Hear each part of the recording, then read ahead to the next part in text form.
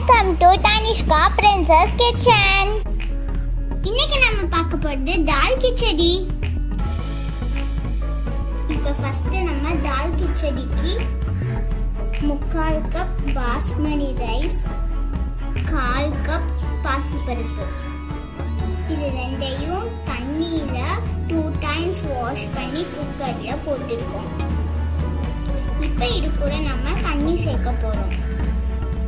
அரிசி பருப்பை சேர்த்து ஒரு டம்ளர் ஒரு டம்ளருக்கு மூணே கால் தம்ளார் தண்ணி ஊற்றிருக்கேன் நான் சொன்ன அளவில் தண்ணி ஊற்றிருக்கேன்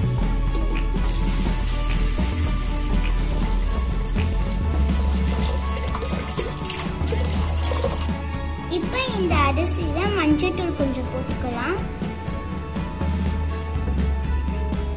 இப்போ அரிசி பருப்புக்கு தேவையான அளவு கல்லுப்பு போட்டுக்கலாம். இப்போ குக்கரை மூடி நம்ம ஃபோர் விசில்ஸ் வச்சிடலாம். இப்போ நம்ம குக்கரை மூடி ஃபோர் விசில்ஸ் வர வச்சிடலாம். ஃபோர் விசில்ஸ் வந்தோடனே பார்க்கலாம்.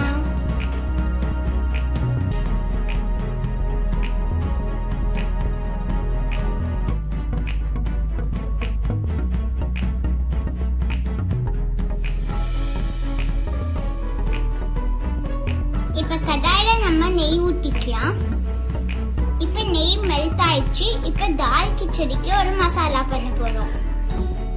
இப்ப நெய் மெல்ட் ஆனோடனே ஜீரகம் போட்டுடலாம். ஜீரகம் நல்லா பொரிஞ்சு வந்துடுச்சு இப்ப நம்ம காஞ்ச மிளகா போட்டுடலாம். இப்ப காஞ்ச மிளகா போட்டதுக்கப்புறம் பச்சை மிளகா போடணும்.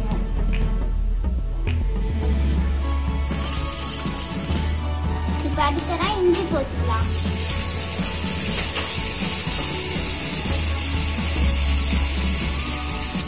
இப்ப அடுத்ததா பொடியா நடுக்கி வச்ச பூண்டு போட்டுடலாம்.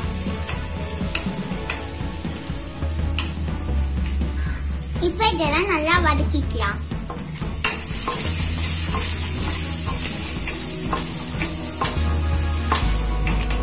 நல்ல வாசனை வருது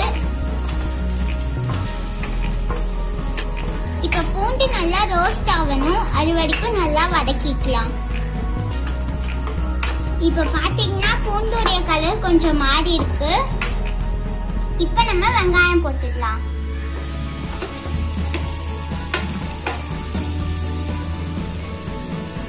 இப்ப வதக்கிடலாம்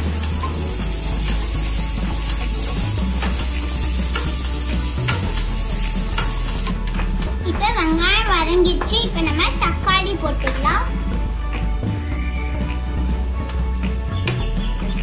இப்ப தக்காளி போட்டுட்டு நல்லா வதக்கிக்கலாம் இப்ப நம்ம ஸ்பைசஸ் போட ஆரம்பிச்சிடலாம் ஃபர்ஸ்ட் மஞ்சத்தூள். இப்ப தனி மிளகாய் தூள் இப்ப தனியா தூள் இப்ப ஸ்பைசஸ்லாம் போட்டோம். இப்ப நம்ம நல்லா மிக்ஸ் பண்ணிடலாம். இது எல்லாத்தையுமே.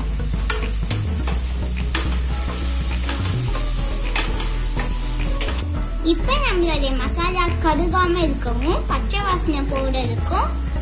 கொஞ்சோண்டு தண்ணி ஊத்திக்கலாம்.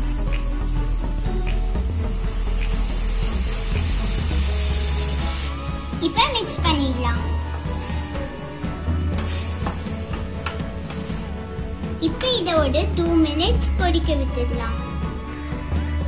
இப்ப நம்ம குக்கரை ஓபன் பண்ணி பார்க்கலாம். எப்படி பாசி பருப்பும் அரிசியும் வெந்து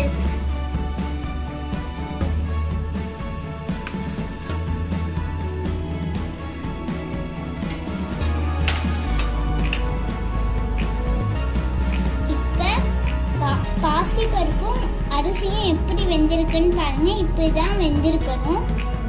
இதுல நம்ம செஞ்ச மசாலாவை கொட்டி மிக்ஸ் பண்ணிடலாம். மசாலாவில் நான் ரைஸை கொட்டிட்டேன். இப்போ மிக்ஸ் பண்ணிடலாம்.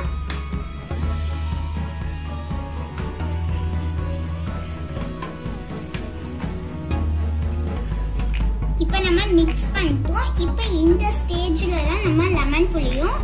இப்போ புரிஞ்சிடலாம் சும்மா ஒரு கால் லெமன் தான் புடிறேன்